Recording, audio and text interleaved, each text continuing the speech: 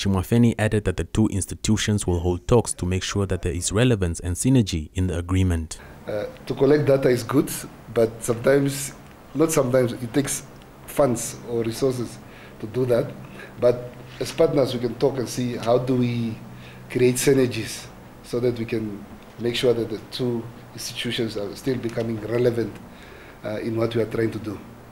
The CEO of the Namibia Competitions Commission, Mihe Gaomab, said that the NSA's involvement is vital as it ensures that their statistics are consistent. I'm also made to understand that the Namibian Statistics Agency does, or is the supreme statistics authority on data in the country. Hence the need for consistency, the need for harmonization, the need for data synchrony, and to ensure that the macro data that we have does speak to the macro data that the Statistics Agency also has. The Namibia Competition Commission was established in terms of the Competition Act 2 of 2003. The commission is tasked with providing consumers with competitive prices and product choices.